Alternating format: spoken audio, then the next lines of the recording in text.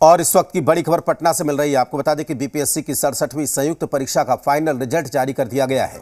इस परीक्षा में कुल सात सौ निन्यानवे उम्मीदवार सफल हुए हैं।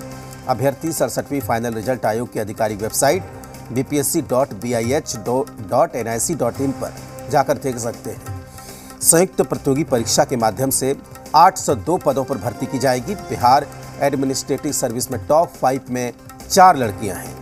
पहले नंबर पर अमन आनंद दूसरे नंबर पर निकिता कुमारी तीसरे नंबर पर अंकिता चौधरी चौथे नंबर पर अपेक्षा मोदी और पाँचवें नंबर पर सोनल सिंह का नाम है बिहार पुलिस सर्वी सर्विस यानी कि डिप्टी सुपरिटेंडेंट ऑफ़ पुलिस में कामयाब अभ्यर्थियों में पहले नंबर पर खालिद हयात दूसरे नंबर पर ऋषभ आनंद तीसरे नंबर पर तरुण कुमार पांडे चौथे नंबर पर एमडी फैजल चंद और पाँचवें नंबर पर अपर्णा भारती का नाम है और सब इलेक्शन ऑफ़िस के ऑफिसर के सफल पदों पर अगर बात करें तो सबसे पहले राकेश कुमार, दूसरे नंबर पर अविनाश कुमार, तीसरे तीसरे नंबर पर Neha Kumari.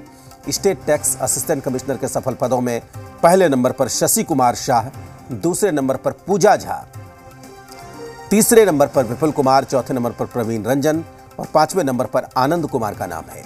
Bihar education service के सफल अधिकारियों की अगर बात करें, सफल अभ्यर्थियों की अगर बात करें तो पहले नंबर पर शंभू कुमार सिंह, दूसरे नंबर पर गौरव राज और तीसरे नंबर पर अमृतेश आर्यन का नाम है।